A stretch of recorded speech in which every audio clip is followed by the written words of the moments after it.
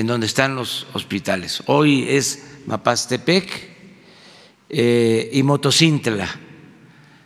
Mañana vamos a Guadalupe Tepeyac, vamos eh, Altamirano, Diraucocingo y el domingo eh, vamos a estar en San Cristóbal de las Casas y en Carranza. Eh, la semana próxima seguimos, vamos a estar en hospitales de em, Nayarit y Michoacán. Em, posteriormente vamos a estar en San Luis Potosí, en el norte de Veracruz, vamos a regresar después a Chiapas porque no nos va a alcanzar esta gira em, para terminar con todos los hospitales, nos va a quedar pendiente eh, Benemérito de las Américas, que está en el límite con Guatemala, y nos queda pendiente Bochil o Cozocuautla, mejor conocido como Coita. Eh, vamos a Matías Romero, a Jaltipan. Es una gira por eh, todo el país con el tema de salud, porque es uno de los asuntos pendientes. Tengo el compromiso y lo voy a cumplir de que vamos a mejorar la atención médica y que vamos a garantizar atención médica y medicamentos gratuitos a toda la población. Y empezamos a recorrer eh, el país con este propósito.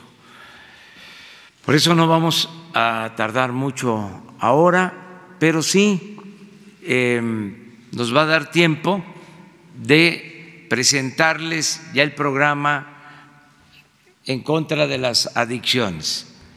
Em, ustedes saben que estamos eh, atendiendo el problema eh, que más preocupa, que es el de la inseguridad y el de la violencia.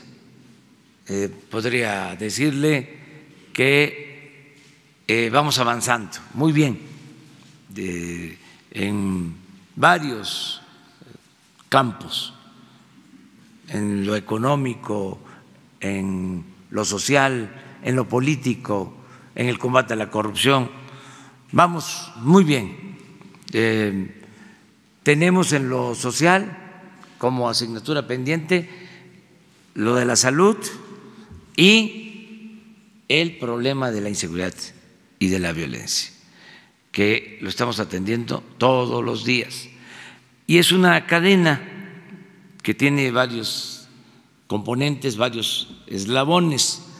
Lo principal es que haya trabajo, que haya bienestar. La paz y la tranquilidad son frutos de la justicia. Por eso, como nunca, se está atendiendo al pueblo, sobre todo a la gente humilde, a la gente pobre. Son condiciones completamente distintas. Los neoliberales le dieron la espalda al pueblo y se dedicaron nada más a saquear con la patraña de que si le iba bien a los de arriba, les iba a ir bien a los de abajo si llovía fuerte arriba, goteaba abajo. Cuando, cuando, todos sabemos que la riqueza no es contagiosa, este, no permea, eh, tenemos que procurar desde el gobierno, que ese es un concepto distinto, que haya una buena distribución del ingreso, que el gobierno se preocupe por que haya una buena distribución de la riqueza para que no se acumule solo en unos cuantos, mientras la mayoría carece hasta de lo más indispensable. Entonces, para detener el flagelo de la violencia es indispensable atender las causas que originaron esta situación de inseguridad que se está viviendo. ¿Qué originó todo esto? Pues el saqueo, la corrupción, eh, la desigualdad, el empobrecimiento, el abandono del campo, el abandono de los jóvenes, todo lo que ya sabemos es lo que estamos ahora atendiendo. Eh, lleva tiempo, pero esto es lo que nos va a dar el fundamento para pacificar el país, que se impulsen actividades productivas, que haya trabajo, que se atienda a los jóvenes. Eso es lo básico. ¿Qué otra cosa? Bueno, el que haya protección para los ciudadanos. Por eso lo de la Guardia Nacional, que no existía, y miren lo que había. ¿Ya para qué? Este, tengo que eh, explicar mucho. ¿Qué había para eh, proteger a la gente? Pues lo que estamos viendo, lo de antier y lo de ayer, y posiblemente hoy. Imagínense este, con qué se contaba. Qué buena decisión la de reformar la Constitución para crear la Guardia Nacional, una institución nueva para proteger a los ciudadanos, que no existía,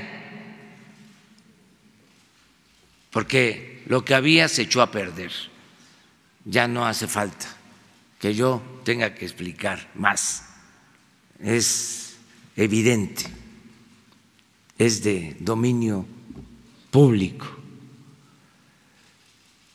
Entonces, eso también ya lo estamos atendiendo con la Guardia Nacional. Y lo tercero es atender a los jóvenes para eh, prevenir las eh, adicciones, que los jóvenes sean atendidos. No existía un sistema de atención al problema de las adicciones. Por eso nos llevó tiempo la presentación de este programa, porque no era nada más asunto de iniciar una campaña en contra del consumo de las drogas, sino cómo curamos, cómo atendemos. Si no hay eh, clínicas, no crearon nada para atender eh, desde la visión de salud este problema. Y eh, es evidente y preocupante que fue creciendo el consumo sin que eh, nada se hiciera por detenerlo, ni una campaña al contrario, se hizo hasta apología de todo lo relacionado con la drogadicción. Este se exaltó y se dejó a los jóvenes solos, sin opciones, sin alternativas. Entonces, hoy presentamos el programa de eh, prevención en el consumo de drogas. Ya tenemos el plan y hoy inicia y por eso invitamos a eh, el doctor Jorge Alcocer, secretario de Salud, a Hugo López Gatel, que es subsecretario de Prevención y Promoción de la Salud, a Ricardo Mejía, que es subsecretario de Seguridad Pública, a Esteban Moctezuma, secretario de Educación, a Jesús Ramírez de Coordinación de comunicación social por la campaña y participan de muchas otras eh, dependencias del gobierno federal, muchas otras, porque es un trabajo coordinado, pero muy interesante, y llamo a eh, todos los mexicanos a que nos ayuden, vamos a sumarnos, vamos a cerrar filas para eh, ayudar a informar, a orientar a los jóvenes. Y ya cuento con el apoyo de la mayoría de los medios de información que también van a apoyarnos en esta campaña para eh, reducir el consumo, que este, no haya demanda. Además, tenemos nosotros en nuestra sociedad una gran reserva de valores culturales, morales, espirituales. Y eh, sabemos que vamos a poder detener y disminuir el consumo de drogas, porque se va a atender, se van a dar opciones a los jóvenes de trabajo, deporte, del fortalecimiento de la autoestima, este, para que eh, los jóvenes sean felices sin necesidad de recurrir a las drogas. Esto es lo que iniciamos el día de hoy estoy seguro que eh, vamos a contar con el apoyo de todo el pueblo y le tengo yo mucha confianza, mucha fe a los jóvenes de México eh, y van a tener siempre un lugar especial. Nunca más se les va a dar la espalda, los vamos a abrazar, este, los vamos a proteger para que no se sientan solos, para que no tengan vacíos, para que no tomen el camino de las conductas antisociales para no dejarlos solos y que los enganchen y eh, terminen formando parte de eh, la delincuencia, de las bandas, eh, y que no se confundan, que no apuesten a la felicidad efímera, al lujo barato de la ropa de marca, de los carros último modelo, de las alhajas. Eso no este, es lo más importante en la vida. Lo más importante en la vida es estar bien con uno mismo, estar bien con nuestra conciencia y estar bien con el prójimo y, como siempre lo sostengo, solo siendo buenos podemos ser felices, solo siendo buenos, de buen corazón, vamos a tener felicidad verdadera. Y en el caso de los jóvenes, este, querer mucho a sus padres, sobre todo a sus mamás este, que tanto quieren a los hijos, que tanto sufren por los hijos. Entonces, todos aportarnos bien. Entonces, le doy la palabra al doctor Hugo para que él nos exponga y luego eh, Jesús Ramírez Cuevas. Y con eso este, terminamos. Solo si hay algo que ustedes consideren importante, realmente importante, este, yo contesto algunas preguntas en esta ocasión. Eh, si no, pues nos vamos a ir este, los vamos a seguir viendo porque vamos a la gira, nos acompañan compañeras y compañeros de ustedes. A ver. Gracias, presidente. Muy buenos días, tengan todas y todos ustedes, compañeros periodistas. Como ya señala el presidente, estamos en posibilidad de presentar el cambio de enfoque, el cambio de perspectiva, el cambio de actitud respecto al problema de las adicciones. Este cambio está propuesto formalmente en el documento del Plan Nacional de Desarrollo y consiste en transitar de manera inmediata de una perspectiva más convencional que se ha usado en México y en el mundo por varias décadas, en donde se toma en un solo paquete el problema de las adicciones, considerando la oferta, quien fabrica, quien comercializa, quien trasiega, quien trafica las eh, sustancias psicoactivas ilícitas, con el que sufre un problema de salud, un problema de exclusión social, un problema de desintegración familiar, comunitaria, que es el usuario, el que demanda y el que está atado a un problema de adicciones por un fenómeno muy complejo que tiene que ver con la salud eh, personal, tanto como la salud social y también tiene que ver con la exclusión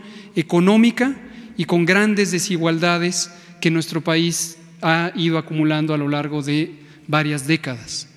Es fundamental tener claro que este cambio de perspectiva requiere tratar a la población que ha sido afectada como una población digna de derechos de protección, de apoyo, de inclusión, de vinculación y una población que tiene el derecho, merece y debe ser atendida con la generosidad del Estado Nacional que le brinde oportunidades de incorporarse, de incorporarse a una vida sana, una vida productiva, una vida saludable en todos los sentidos y un aspecto extraordinariamente importante es la salud emocional y social, que implica la autoestima, que implica la autovaloración, que implica el ser reconocido como un miembro de la sociedad de pleno derecho como lo mandan las leyes.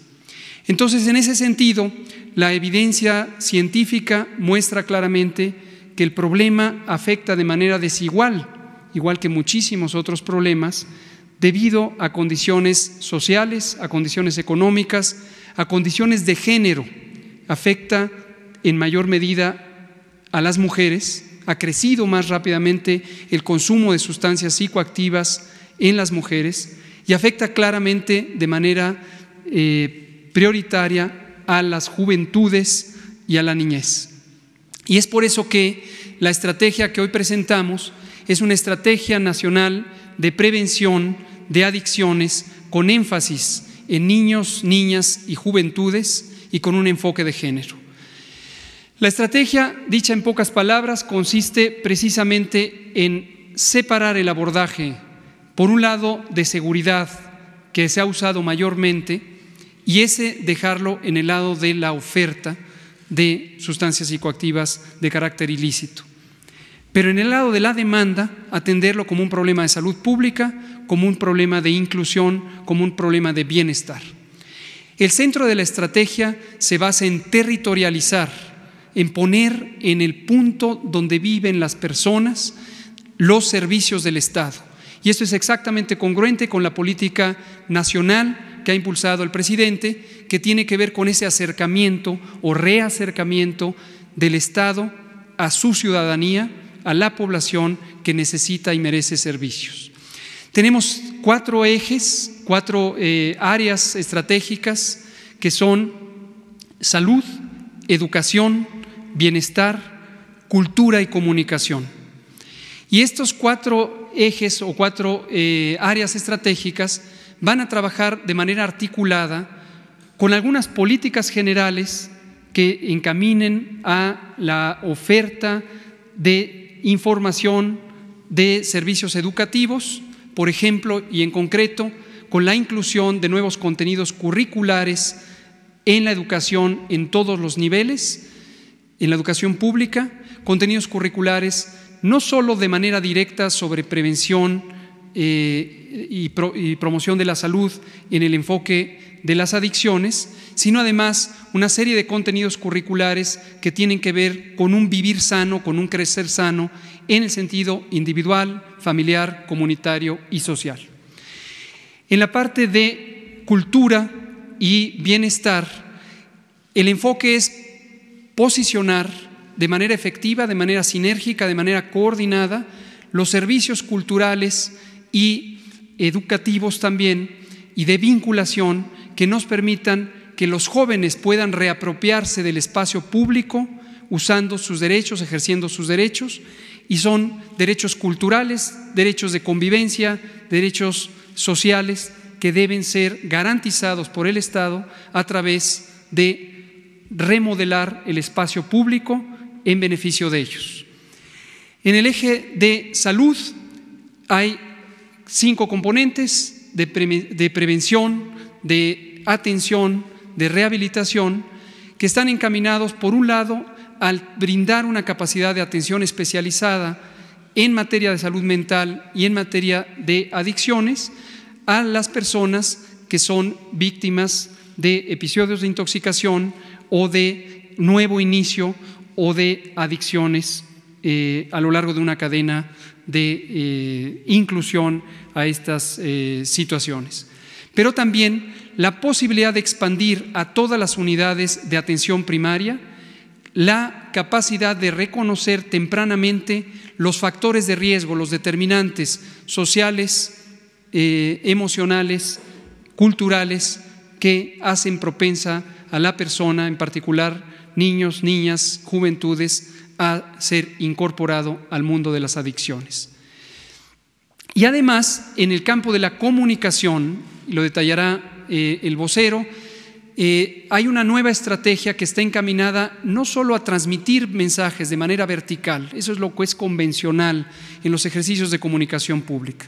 Lo importante aquí es la escucha, la escucha y el diálogo. Entonces la estrategia de comunicación se basa en escuchar, el gobierno, el Estado debe escuchar a las juventudes, debe entender sus necesidades, debe incorporar sus demandas, debe favorecer en segundo lugar el diálogo, el diálogo incluyente entre gobierno y sociedad y entre distintos miembros y actores de la sociedad, esté o no organizada. Y finalmente, también el comunicar una serie de contenidos que tienen que ver con la conciencia del autocuidado. El autocuidado no solo de la salud, sino el autocuidado de la persona, del prójimo, de la comunidad y en general de la sociedad. Dicho en resumen, esa es la estrategia. Eh, hoy no da tiempo para detallar cada una de las intervenciones, pero quiero destacar que las intervenciones además echan mano de los programas sociales ya en curso, de los programas, programas estratégicos que se ha dispuesto en la actual administración, de los 25 programas que el presidente ha enfatizado como elementos de cohesión, como elementos de activación del bienestar, como elementos de vinculación y reconstrucción del tejido social.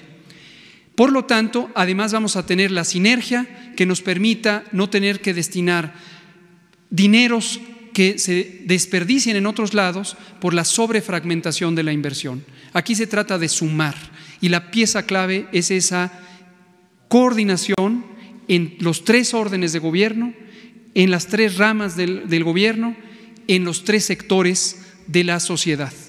Esa es la, la idea, esta suma. Muchas gracias, presidente.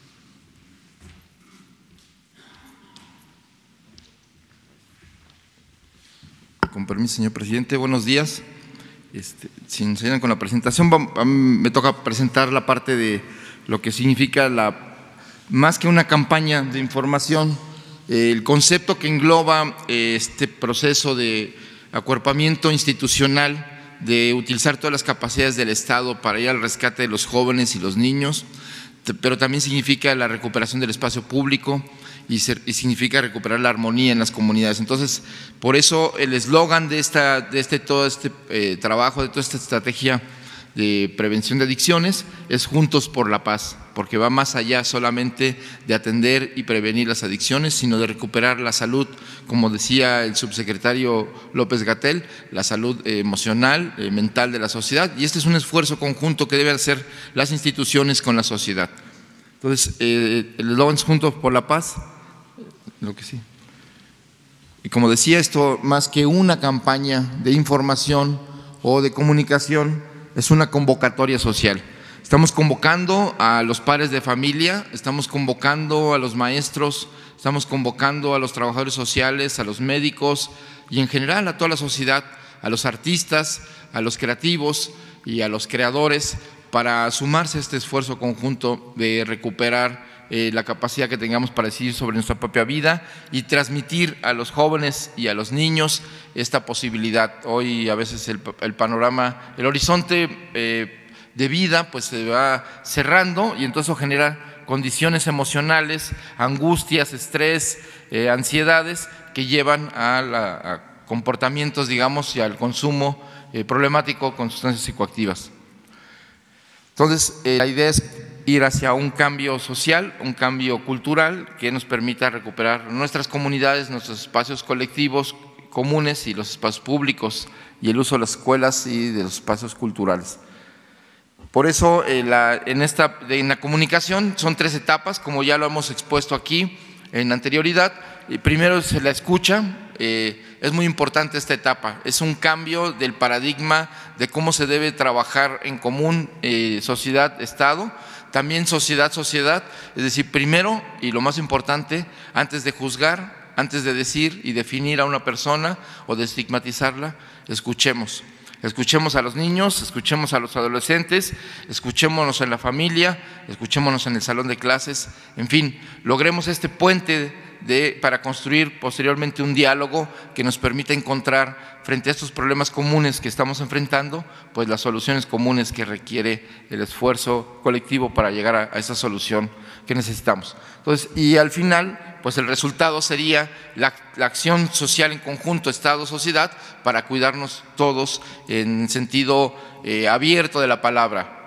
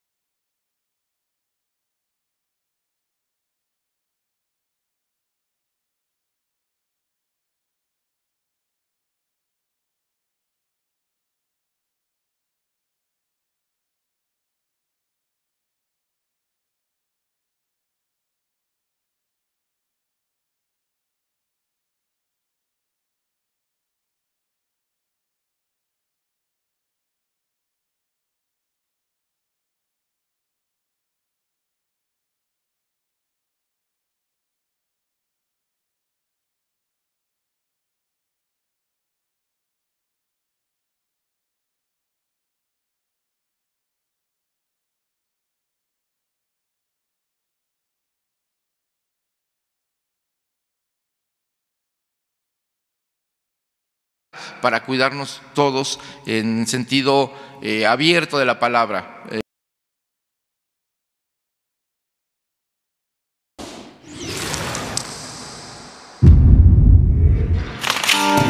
Aquí. Aquí. Aquí. Aquí. Vivi, antes aquí. Aquí. Estamos creando en todo México una red de clubes para construir la paz. Nuestro símbolo es la sombrilla porque representa protección, prevención. Donde veas una sombrilla verde, ahí te van a atender. Escucharán lo que piensas, sientes y vives. Te van a brindar ayuda, así como información sobre prevención y tratamiento de adicciones. Te ofrecerán opciones culturales, educativas y deportivas en tu localidad. Escuchar a los niños y niñas, a los jóvenes, es el primer paso para reconstruir los lazos humanos, familiares, comunitarios y sociales. Queremos una sociedad sana, en armonía, sin adicciones, para recuperar el México que siempre hemos sido. Busca la sombrilla. Únete. Escúchate, escucha, escuchémonos. Juntos por la paz. Este, mm, quiero nada más un segundo explicar. Se trata, vamos a invitar a los jóvenes y a partir vamos a crear unas brigadas, unos clubes por la paz que en las plazas públicas, en los espacios donde conviven los jóvenes, pues van a atender, van a informar, van a tener materiales para poder canalizar y a, los, a las personas que tienen problemas de adicciones con sustancias psicoactivas, poder eh, acercarlos a los centros de salud, a los lugares donde se pueda atender este tipo de, cuando hay una situación problemática. Pero además este, estos clubes van a informar a los jóvenes sobre la oferta cultural, sobre la oferta deportiva, sobre la, oferta educativa que hay en esa, en esa región y, lograr eh, a partir de talleres con creadores, con eh, promotores culturales, pues se va a hacer una serie de activaciones territoriales desde circo social, eh, orquestas, talleres de teatro, en fin, incluso talleres de ajedrez para ocupar el espacio público y volver a recuperar eh, nuestros parques, eh, nuestros espacios, también para la convivencia entre las familias y la convivencia entre vecinos. Eh, este, este material está enfocado hacia los más jóvenes, hacia los niños.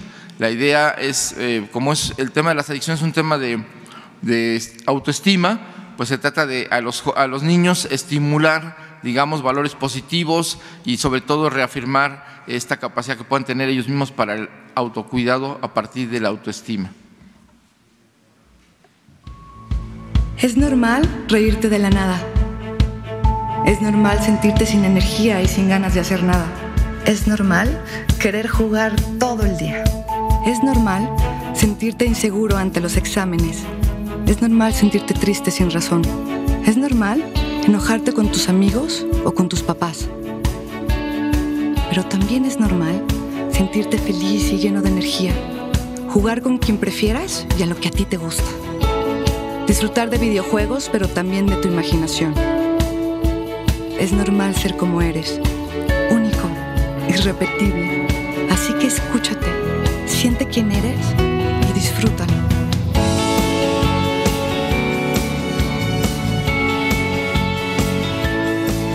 Es normal ser tú. No necesitas nada más. Nada.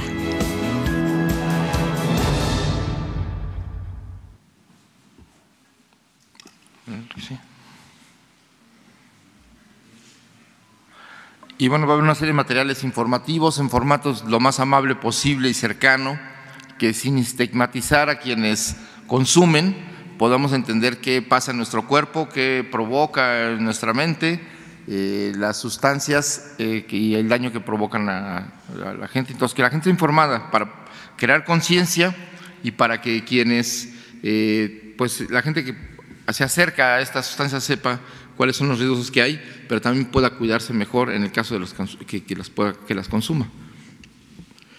Este, lo que sigue, por favor. Y estas son unas acciones que se van a hacer institucionales en el territorio con Injuve, con cultura, con educación.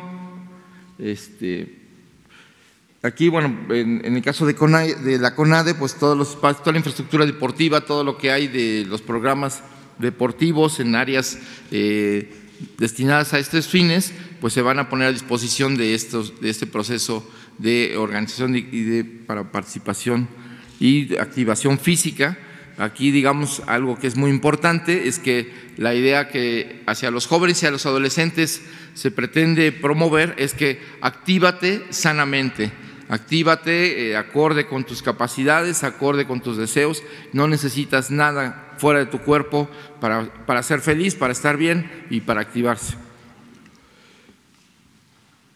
Entonces se van, a, se van a hacer una serie de acciones que son culturales, incluso eh, en el caso va a haber eh, de tecnologías, va a haber unos laboratorios de tecnología en las zonas más pobres del país, a partir de un modelo de economía social y solidaria, donde a los jóvenes se va a formar, por ejemplo, en tecnologías para conocer cómo funcionan los aparatos de uso cotidiano y poder ofrecer los servicios posteriormente en sus propios barrios para eh, programar o para reparar desde celulares, computadoras y aparatos de uso, de uso común.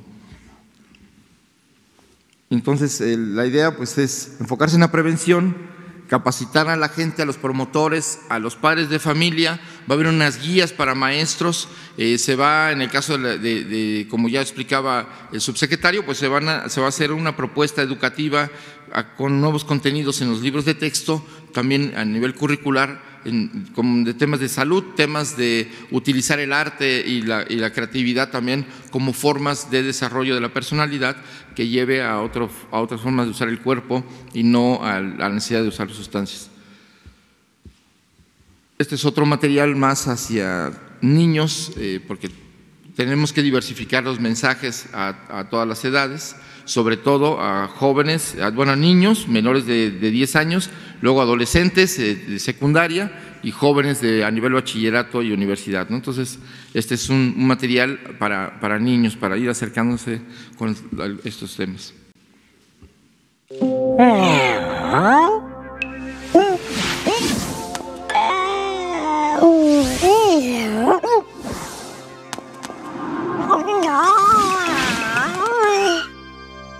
Entonces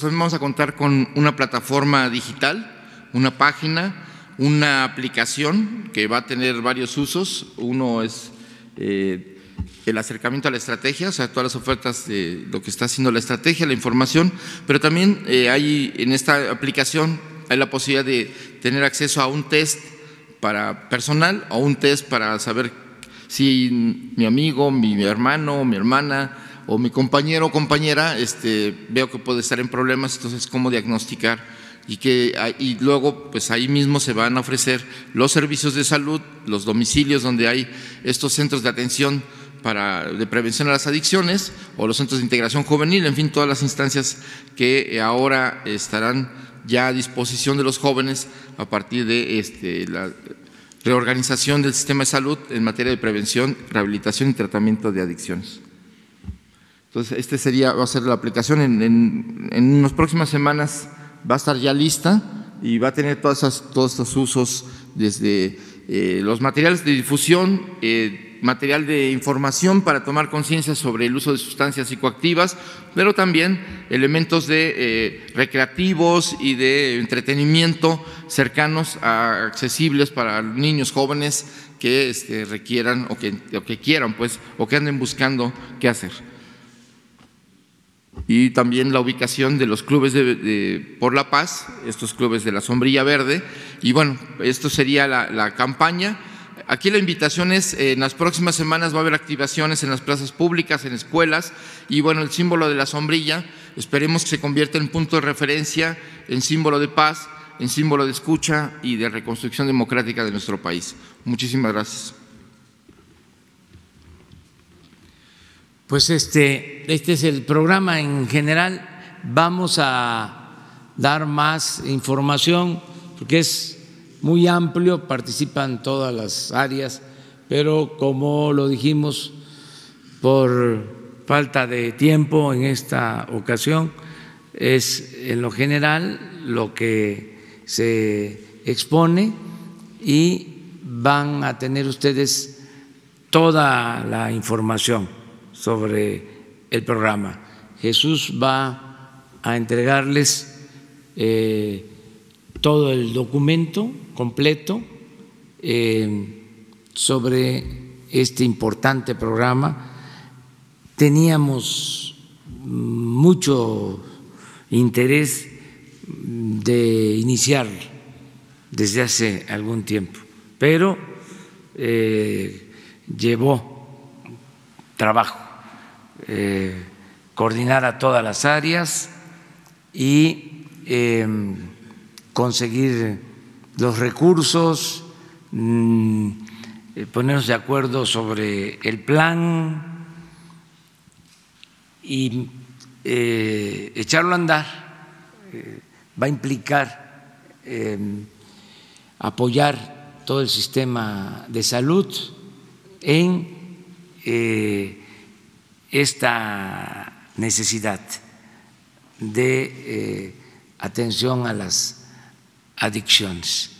Entonces, em, ahora ya estamos preparados para, para esto. Y para eh, tener claro cuál es el propósito y la estrategia, repito, es una cadena, ahí vamos poco a poco. El primer eslabón, el bienestar, el estar bien. Eso es lo fundamental. El segundo eslabón, es la seguridad.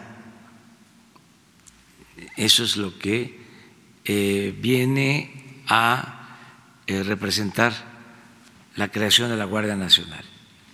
Tercer eslabón, lo preventivo y la orientación este, a jóvenes para eh, enfrentar el, consumo, que no siga creciendo el consumo y que podamos reducir el consumo. Y vienen posteriormente otras acciones, pero estas tres ya son fundamentales. Abrimos para unas cuantas preguntas jóvenes. A ver.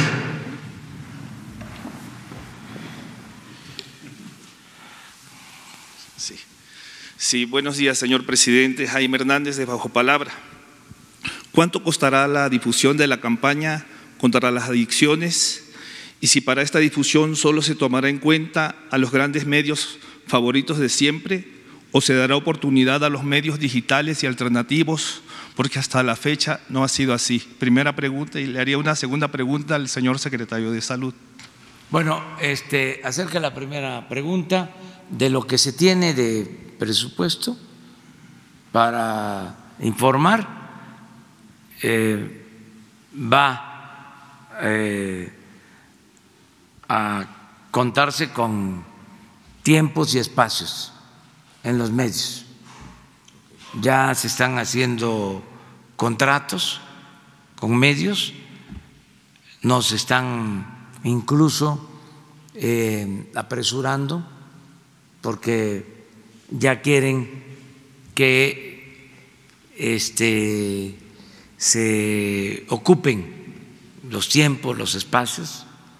Con esta campaña vamos a eh, ocupar tiempos y espacios en medios y se va a incluir a todos los medios, los medios, vamos a decir, convencionales y a los que este, interactúan en redes sociales. Sí, la segunda pregunta es, eh, secretario de Salud, si considera usted que actualmente existen las condiciones necesarias en los hospitales de salud del país para dar atención a las, a las personas con adicciones, como se está planteando en este programa, tomando en cuenta que el presidente acaba de decir que hay deficiencias en el sector salud y es un tema pendiente.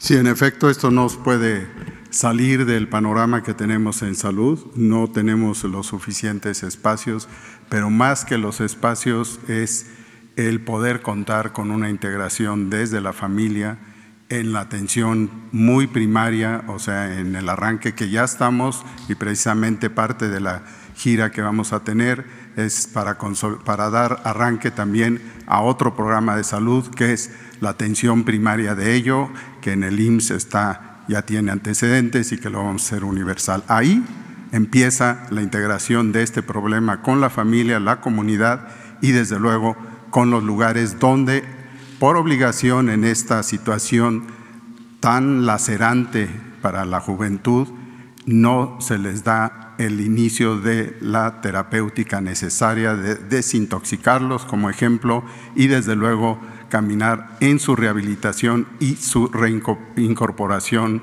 social y productiva. Eso está en, en el desarrollo de estos meses para poder tener resultados pronto.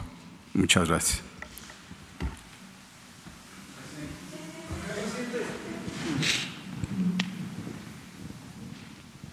Buenos días, presidente. Buenos días, señores funcionarios. Eh, Marco Antonio Olvera de Radio Latino, California. Eh, le voy a hacer dos preguntas, presidente. Una con relación a la campaña que ahora acaban de presentar.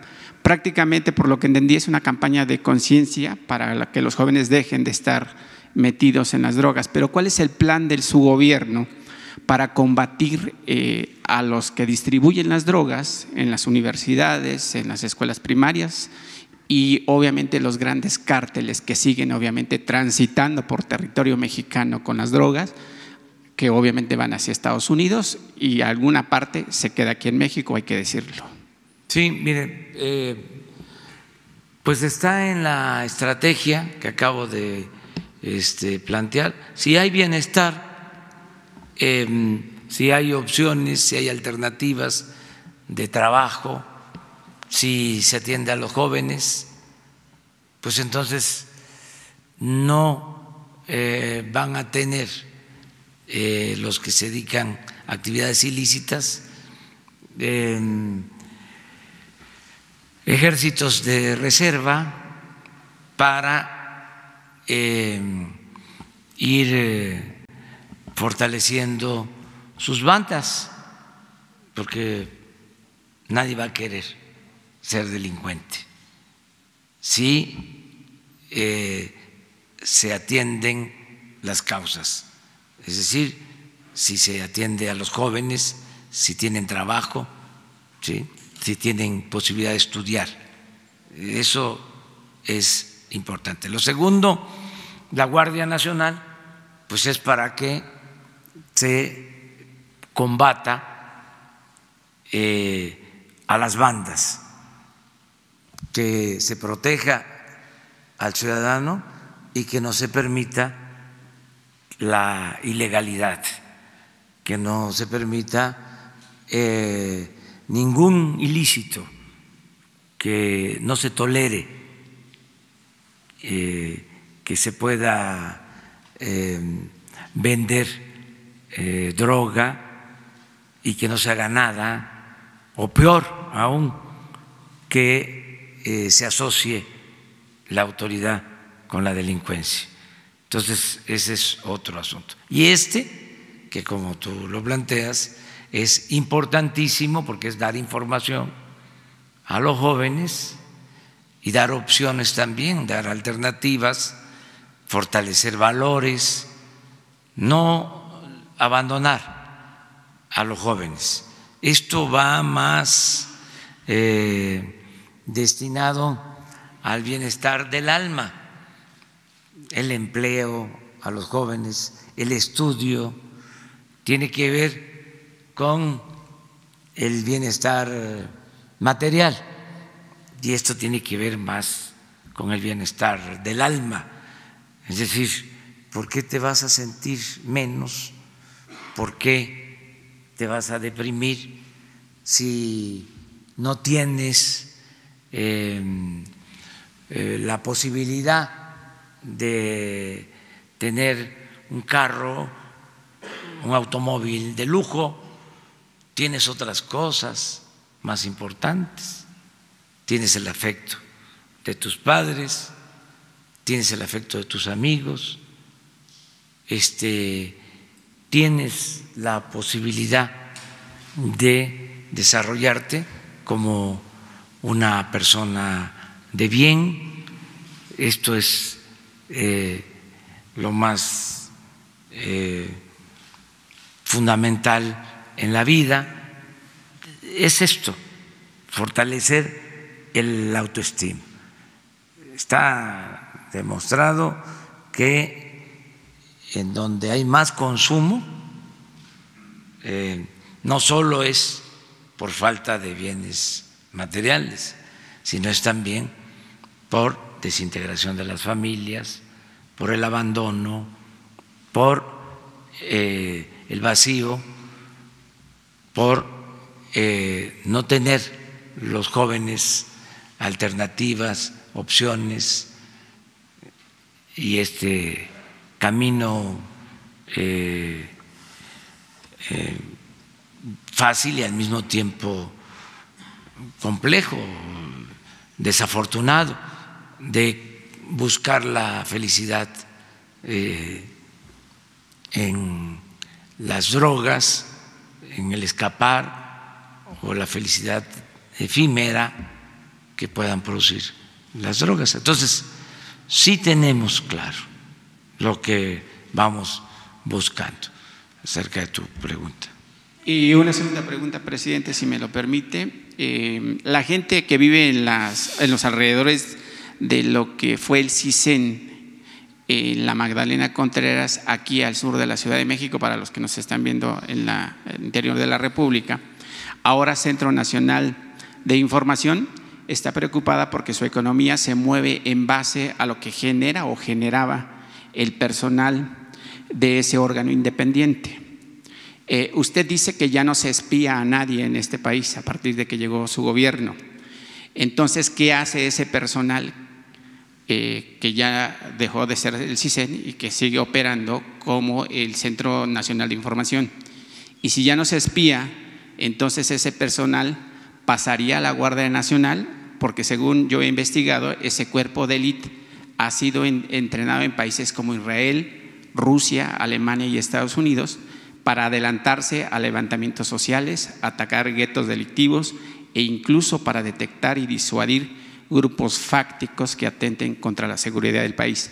¿Qué me puede decir, presidente, por favor? Pues que ese organismo también se distorsionó.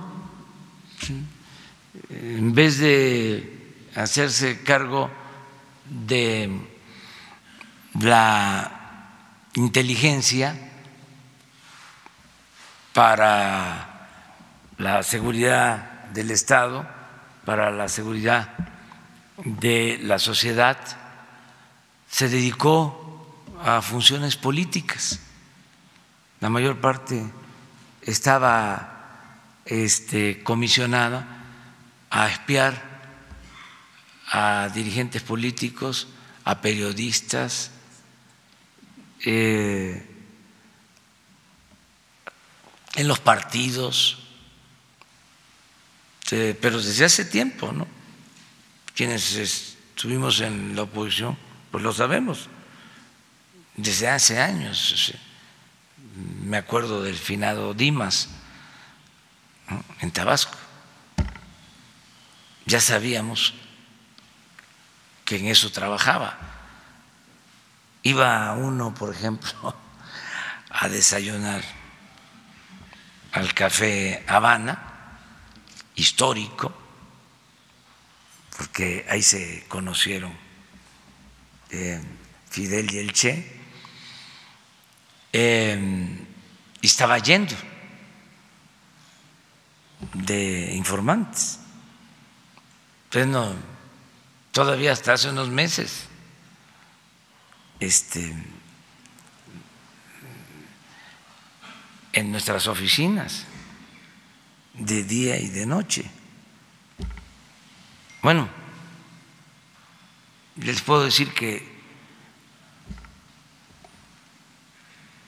hubo un tiempo cuando empezamos a luchar, hace 30 años, 25, 30 años, que enfrente de la casa de ustedes en Villahermosa permanecía este, gente de seguridad, de espionaje, que no de inteligencia.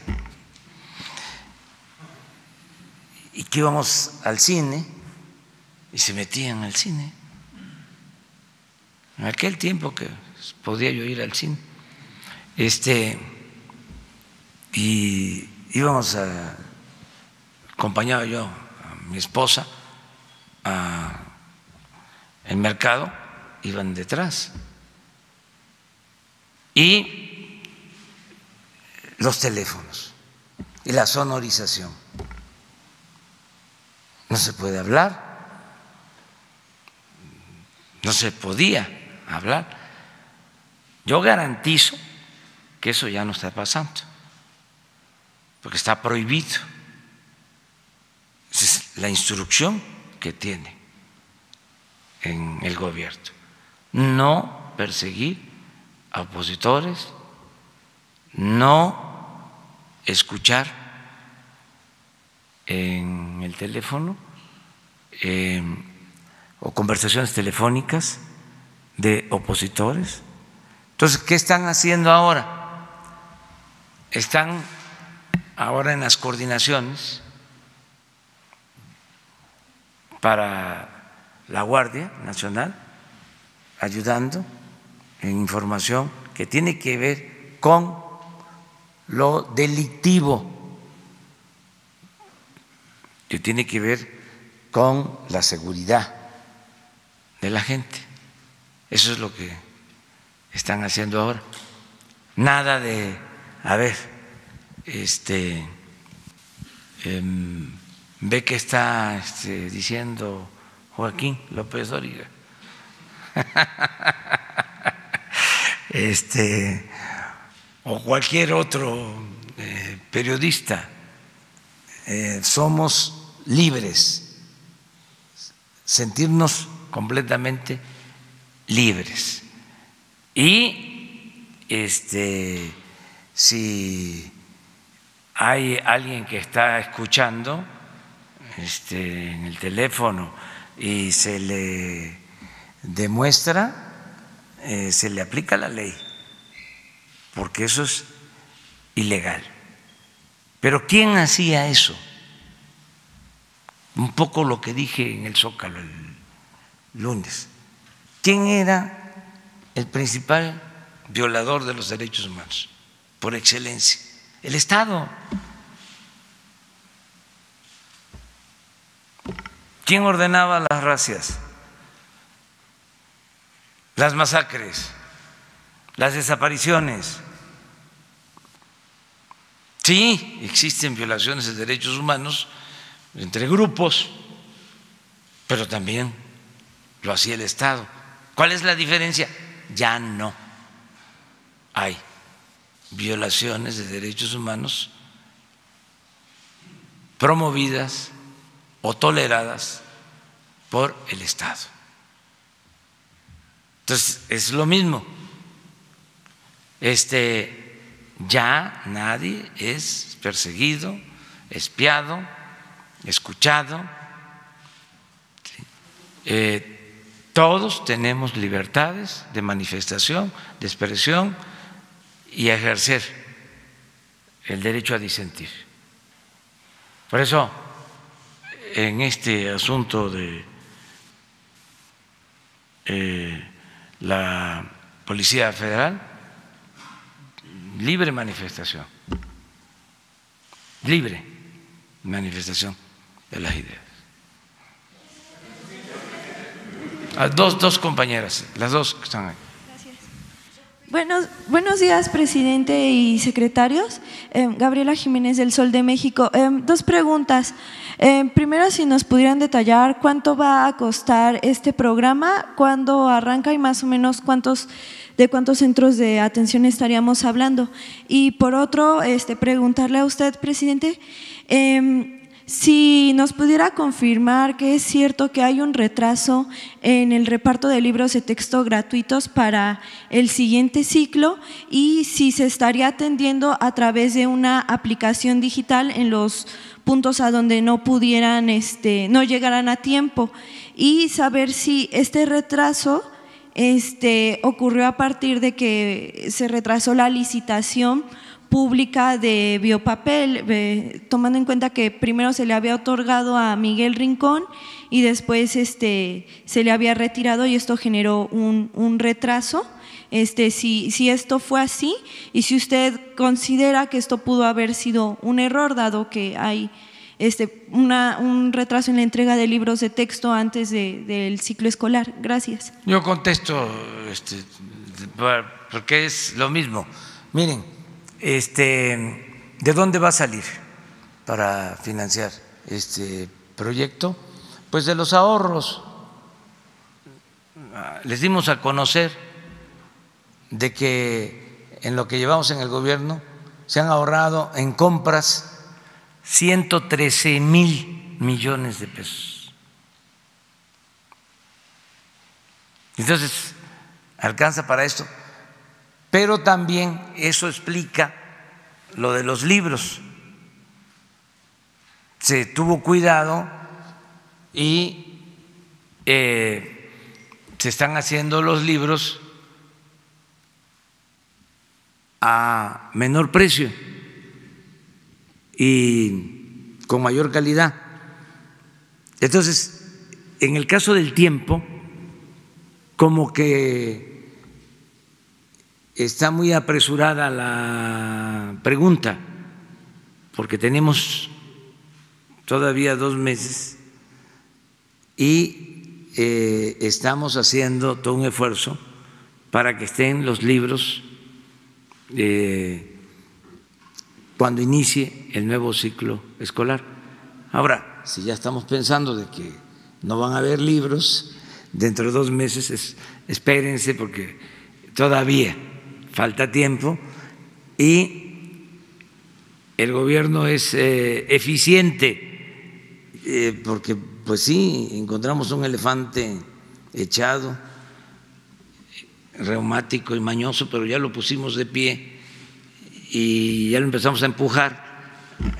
Entonces, es muy probable de que estén los libros a tiempo.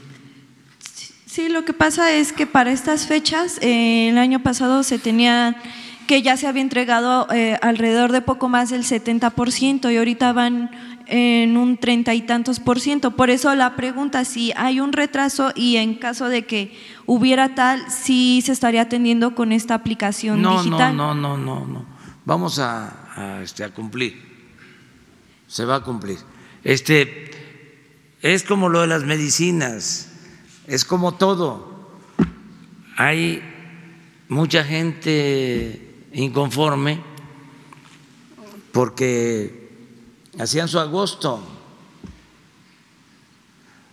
Hay una palabra, cleptomanía, que consiste en que, bueno, deja uno una cartera, ¿no? Y se la vuelan cleptomanía, ¿no? O sea, bueno, esa enfermedad es la que hay que curar, porque son muy ladrones, y ya lo dije, hace falta terapia, hablando de eh, enfermedades para curarlos. Es que están nerviosos porque les falta, ¿sí? Eh, este, eh, el dinero. Estaban acostumbrados a robar. Es eso. A ver, nadie tiene ahí un, bueno, ¿Qué es cleptomanía? A ver. No, pero a ver, ¿cómo dice el diccionario? ¿Puedes venir aquí leerlo? Para que se entienda mejor, pues, cuál es el problema que tenemos. No en el pueblo, sino arriba, ¿sí? y en ciertos sectores que se echaron a perder, se acostumbraron a eso, se quedaron sin principios, sin mística, sin ideales. O sea, era triunfar a toda costa, sin escrúpulos morales de ninguna índole. ¿Sí? Propensión morbosa al hurto. A ver, pero tú tienes otra definición. Trastorno mental. A ver, a ver, a ver. Trastorno mental que se caracteriza por una inclinación o impulso obsesivo a robar. Eso es. Fíjense cómo salió. Bueno, ya me voy porque si no me deja el avión. Voy a Tapachula. Nos vemos. Nos vemos. Muchas gracias.